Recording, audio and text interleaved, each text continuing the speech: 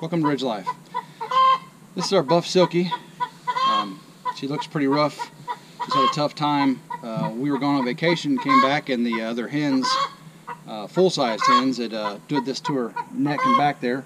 We're gonna spray a little Blu-Kote on her, a little antiseptic uh, wound dressing, and then we're gonna give her a shot of antibiotic for several days and make sure she can make it through this. It looks pretty bad,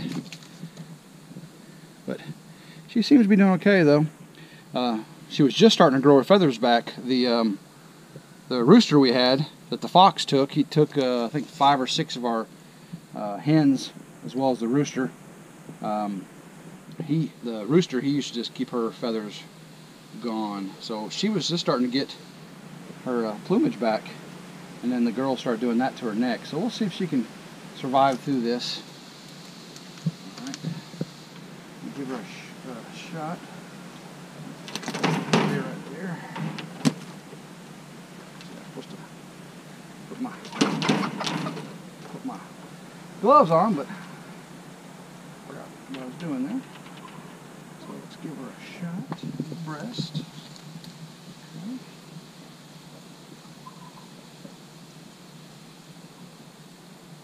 Okay, good girl. Put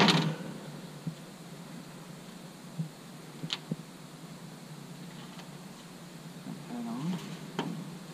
And then we'll spray the Blu-Kote. Let's.